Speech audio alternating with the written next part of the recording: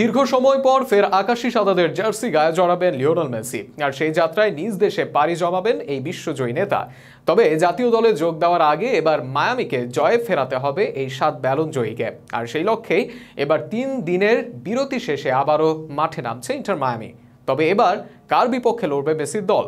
তার বিস্তারিত জানাব প্রতিবেদনায় আগামী আটই সেপ্টেম্বর ইকুয়েটরের বিপক্ষে মাঠে নামবে বিশ্বজয়ী দল আর্জেন্টিনা। আর সেই দলে যোগ দিতে যুক্তরাষ্ট্র ছাড়বে লিওনাল মেসি। তবে এমএলএস ছাড়ার আগে নিজের শেষ ম্যাচটা রাঙাতে চান সাত ব্যালন জয়ী এই মহাতারকা, যেখানে আগামীকাল মায়ামিকে জয় ফেরাতে চাইবেন লিওনেল মেসি। তবে এবার মায়ামিকে জয়ী করতে মেসিদের লড়তে হবে সর্বোচ্চ শক্তি নিয়ে। কেননা, আগামীকাল মেসিদের প্রতিপক্ষ গতবারের এমএলএস চ্যাম্পিয়ন লস অ্যাঞ্জেলস। যাদের বিপক্ষে জয়টা খুব একটা সহজ হবে না মায়ামির। আর তাই মেসিকে নিয়েই বর্তমান চ্যাম্পিয়নদের মুখোমুখি হবে মার্টিনোর শিষ্যরা। এদিকে শুরুতে চাপ কমাতে লিওনেল মেসিকে বিশ্রাম দিয়ে খেলানোর কথা জানিয়েছিল মায়ামি কোচ টাটা মার্টিনো। তবে এই মুহূর্তে গতবারের এমএলএস চ্যাম্পিয়ন লস অ্যাঞ্জেলসের বিপক্ষে তাকে বিশ্রামে পাঠানোর চিন্তাও করছেন না তিনি। কেননা, গত ম্যাচেও জয়হীন ছিল মেসিরা। আর তাই সেই ম্যাচ খেলার পর মেসি জাতীয় দলের ক্যাম্পে যোগ দিতে উড়াল দিবেন বলে জানিয়েছেন কোচ।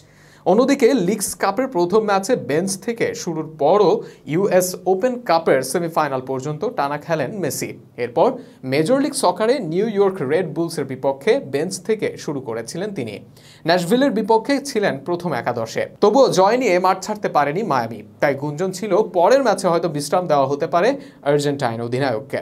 এদিকে লস অ্যাঞ্জেলসের বিপক্ষে ম্যাচ পূর্ববর্তী সংবাদ সম্মেলনে মায়ামি কোচ বলেন গতবারের চ্যাম্পিয়নের বিপক্ষে খুব গুরুত্বপূর্ণ ম্যাচে আমি কল্পনাও করি না যে মেসিকে বিশ্রাম দিতে হবে। আমাদের যেটিতে থামতে হয়েছিল সেটি ছিল রেড বুলস দল। সে 30 মিনিট খেলেছে। আমরা এ সপ্তাহে এভাবেই করেছি এবং এখন আগামীকাল সে খেলতে যাচ্ছে।